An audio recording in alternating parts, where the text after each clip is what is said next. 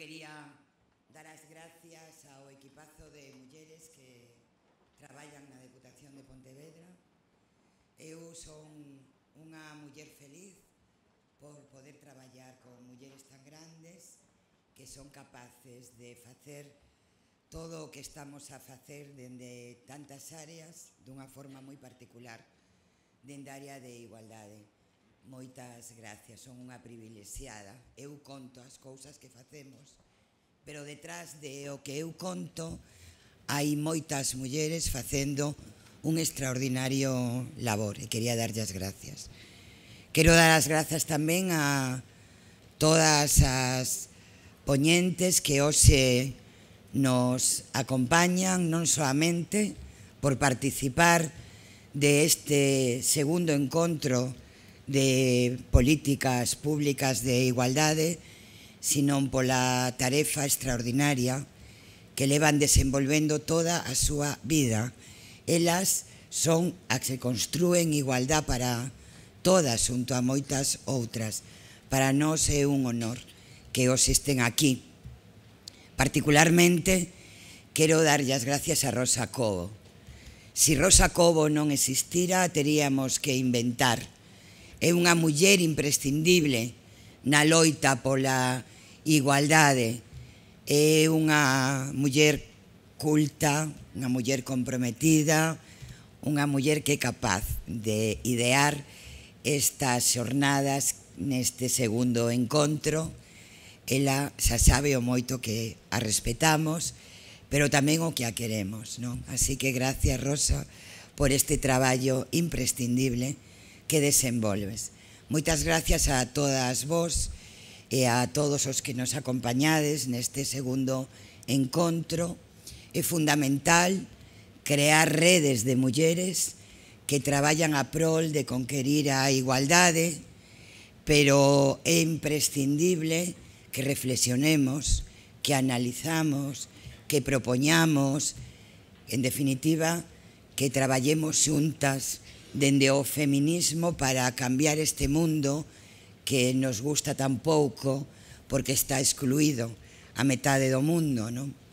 E hoxe e me gustaría facer algunha reflexión sobre o que facemos dende a Deputación de Pontevedra, non para facer un relatorio das políticas que desenvolvemos, sino para mostrar a miña preocupación porque a igualdade hoxe non está no centro do discurso político. As mulleres non estamos na grande toma de decisións que permita que fagamos esas transformacións.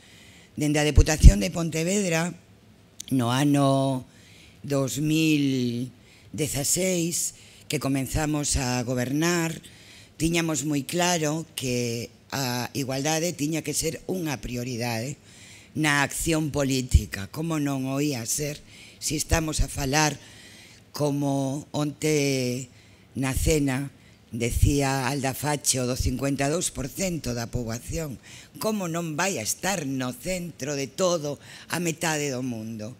Por lo tanto, nós o tiñamos moi claro. Tiñamos moi claro que tiña que haber unha área de igualdade, porque era imprescindible que houbera unha dirección política sobre a igualdade, pero tiñamos moi claro que a igualdade ten que ser unha política transversal. Por lo tanto, fomos tomando decisións para que non haxa ningunha área da Deputación de Pontevedra onde a igualdade sexa o centro da toma de decisións.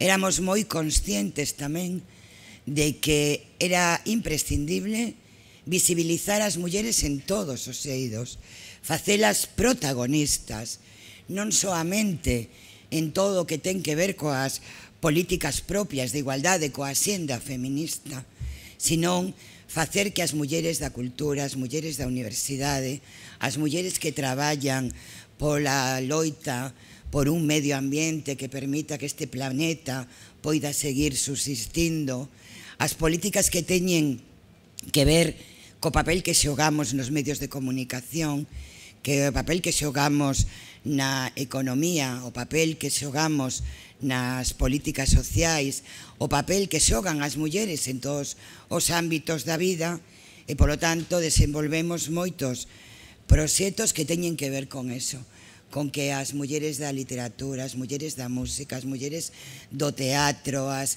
mulleres na universidade, as mulleres na empresa, as mulleres na política, as mulleres en todos os eidos teñan plataformas para poder ter presencia, para poder ter poder e para poder ter capacidade de liderazgo. Por eso mm, eh, tiñamos preparado un PowerPoint que vai a ir aparecendo e eu non vou ir falando de cada un dos proxectos que desenvolvemos porque sería eh, vamos, estaría eu toda mañán e non se trata non se trata de eso, non? Pero sí que queríamos, non? Xa que estamos falando de políticas públicas, pois deixar ben claro que hai administracións que sí apostan pola que a igualdade sexa a gran prioridade que non haxa ningunha decisión onde non esteamos as mulleres representadas, empoderadas, de pé e no centro, que é onde temos que estar. E, polo tanto, dende a Deputación de Pontevedra temos programas que teñen que ver coa loita contra as violencias machistas, que teñen que ver coa loita contra as agresións sexuais, que sitúan as mulleres no centro, múltiples programas novedosos, donde eh, facemos que as mulleres teñan presencia. Dende a Deputación de Pontevedra estamos cansas de fotos de homes, onde mm, normalmente a presidenta é a única muller que está. Estamos facendo unha loita con o mundo da empresa, co mundo da universidade, co mundo da cultura, co mundo da política e cada vez que nos chega un protocolo onde soamente está a presidenta, pois protestamos con bastante descaro e temos moi claro que non podemos seguir estando en fotos onde haya unha soa muller e certamente estamos conseguindo cambios e eso pois me satisface moito. Nos tamén traballamos para visibilizar as mulleres e as mulleres que nos precederon das que somos herdeiras, que tanto teñen a, a, a, aportado ao mundo da ciencia, da investigación, das tecnoloxías, da cultura, de todo aquilo que ten que ver coas grandes transformacións, as mulleres, por suposto, feministas, cun proxecto 365 días, 365 mulleres, onde, e por certo, non nos costa nada. Levamos dous anos facendo e atopamos unha muller para cada día sobradamente. É dicir, que tampouco hai que buscar tanto, porque hashtag hai mulleres. Hai mulleres en todos os espacios da sociedade, da economía, da política, da cultura. Temos tamén moi claro que as nosas políticas teñen que chegar ao todo o territorio, que non soamente o ámbito urbano e o ámbito de desenvolvemento das políticas de igualdade. Nos temos moitos concellos rurais onde as mulleres sempre foron protagonistas, eso sí, invisibles e silenciadas. Por lo tanto, proxectos moi novedosos de traballamos coas mulleres do rural para empoderalas, para que ocupen os seus espacios democratizando todo aquilo que ten que ver coa posición de esas mulleres que tanto nos aportaron e das que somos herdeiras. E, por certo, que maravilloso eh, é ver que cando faz políticas de igualdade coas mulleres do rural se consiguen unha participación extraordinaria, se transforma o espacio público e as mulleres se sinten protagonistas da súa, da súa vida, non?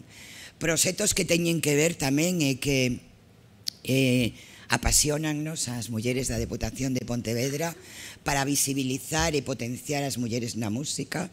Estamos fartas de bandas de homes, hai moitas mulleres que estudian música, que están nas escolas de música, que están nos conservatorios e que logo teñen case imposible construir unha carreira profesional, por lo tanto temos un proxecto moi fermoso que é Descubreas. Temos proxectos moi potentes tamén de visibilizar as mulleres no ámbito do cinema.